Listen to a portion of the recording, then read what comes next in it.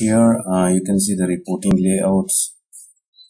SAP report layout contains these are the following. One is a page and control and which is a page size as control data and color settings. For example, if you want subtotal different colors and totals different colors and there's a rows and total items uh, treatment of uh, zero rows and one is a lead column and contents uh, lead column uh, and miscellaneous which is uh, you can say which is a lead column and uh, columns.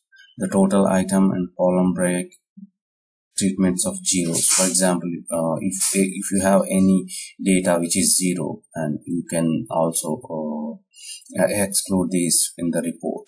Or if there is any uh, GL having the black don't have any balance then you can show this report which which is a zero balance or blank.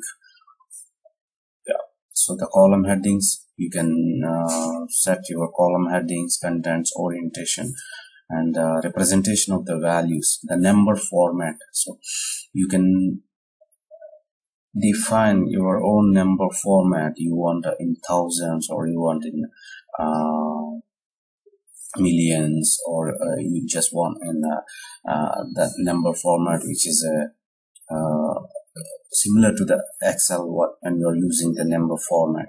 And zero value and which is undeterminable then uh, it will be a blank. And long ways dependent which is a decimal display and uh, you want a debit credit sign and the date and the graphics so you can use some of the graphic when you are creating a report